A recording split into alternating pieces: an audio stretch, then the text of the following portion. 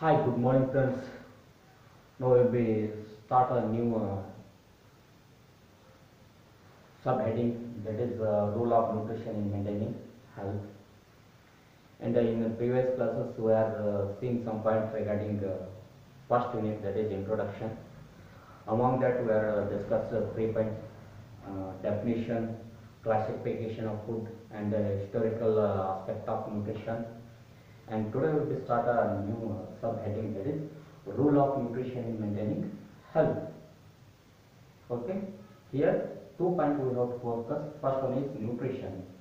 We are well known about the definition of nutrition. Second point, health. Definition of health we have to discuss. Health means it is a complete state of physically, mentally, socially well-being and uh, not merely absence of any disease or deformity. This is about the health definition.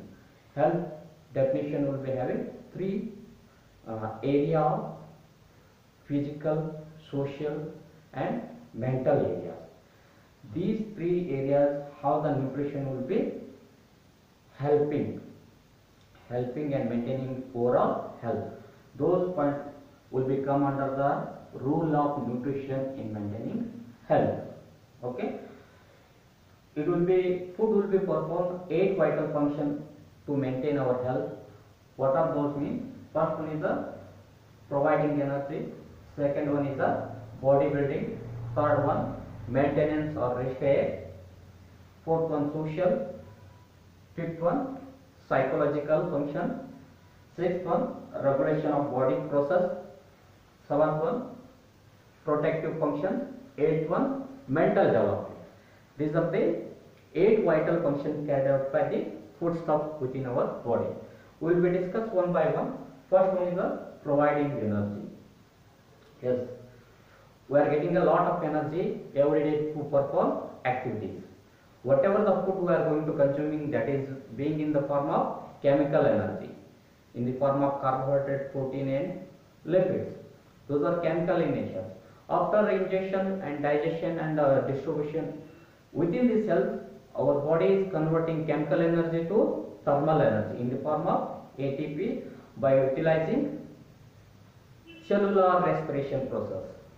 Okay? And uh, among this 20% of energy generated within our body is going to be utilized by brains. And remaining thing will be utilized by basal metabolic rate and the daily activity of living and what the work we are going to doing every we are utilizing the developed energy okay? This is about how the food will providing energy and second point body building yes. Here for performing the uh, intense activity where muscle strength should be strong. And even the bone strength is also strong. Whatever the food we are going to consuming that if that is being rich with the protein among that essential amino acids are there means those are good for the muscle building. And these essential amino acids are building blocks for the proteins. And proteins are the building blocks for the muscles and skeletal systems. Okay? And uh, within our body majorly 20 amino acids are present. Among that 8 will be called as the essential. 5 will be said as the essential means those amino acids are not synthesized within our body that's why we should be take externally through the food sources. External food sources. And even though remaining 12 are non-essential because those amino acids are synthesized within our body by reorganization of chemical substance. Okay? This is about the how the proteins and amino acids will be helping for body building purposes. And third one maintenance and repair of injuries. In a daily activity we are facing a several number of laceration injuries cuts but that lacerated wound and uh, injured wound cannot be being permanent because there is a process of wound healing.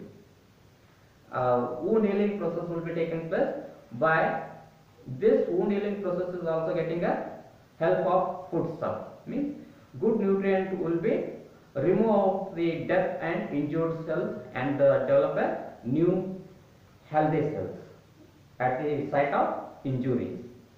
Okay. For this purpose, we have to consume a protein-rich foodstuff, vitamin C uh, rich foodstuff, which uh, which will be help for the collagen synthesis. And blood coagulation is also taking place. And even though iron content foodstuff we have to consume, and uh, selenium, zinc, and uh, antioxidant rich foodstuff we have to consume to repair the injured cells. Okay, this is about how the food will be maintaining and repair the wounded cells. And the fourth one, social functions. Food is also uh, performing some social functions. Social activities means in, it is the interaction between the number of persons. For example, in case of fair and festivals and uh, birthday, birthdays and even though opening ceremonies of house, home and opening inauguration cere- ceremony of ceremony of colleges and uh, even though marriage ceremony, those will be having a completeness by utilizing the foodstuff or sharing of foodstuff.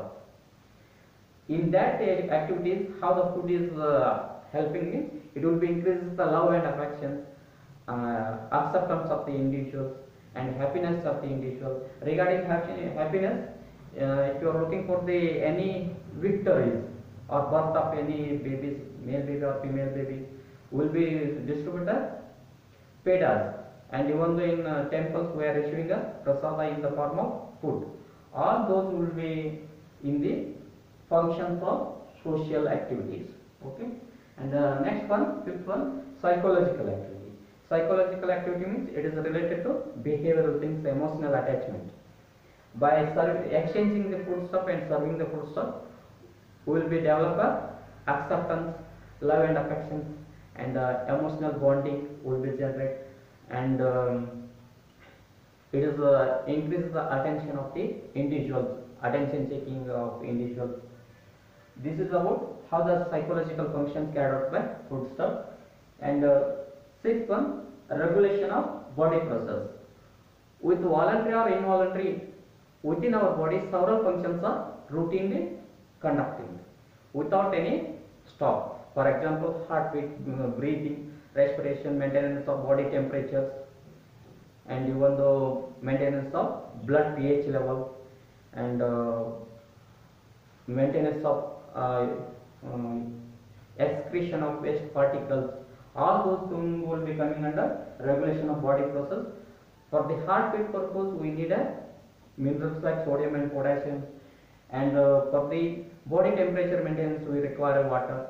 And uh, excretion of waste particle also we require electrolyte and water. And uh, conducting of nervous system, we require some uh, amino acids, dopamine rich food stuff.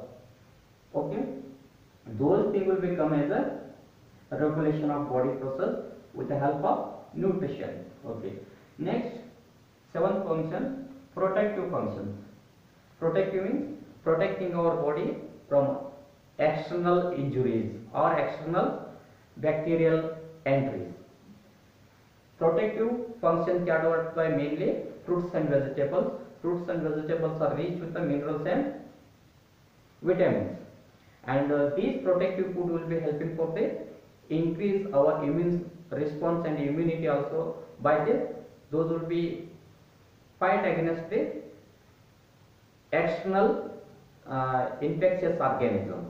For example, virus, bacteria, fungi.